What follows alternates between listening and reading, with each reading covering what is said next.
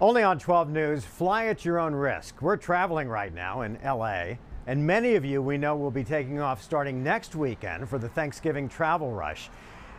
It's true, people do incredibly gross things on board, but there are some ways to keep your family safe. Team 12's Tram Mai joins us now with the dismal deeds and some travel tips.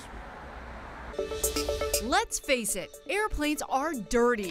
From feet to garbage to dentures? With nearly 2.8 million passengers flying in and out of U.S. airports every day, airplanes sure are an easy breeding ground for germs like bacteria and viruses. And thanks to the social media site Passenger Shaming, people's disgusting deeds are caught on camera, from people taking their clothes off to hanging their clothes. Then there are the seatback pockets, where people have left pistachio nuts, dirty diapers, used Q-tips, even a used pregnancy test. And some people are just downright rude, like this guy. And this lady. Seriously? The exclusive 12 News Filth Finder has tested some of the filthiest things we touch while flying.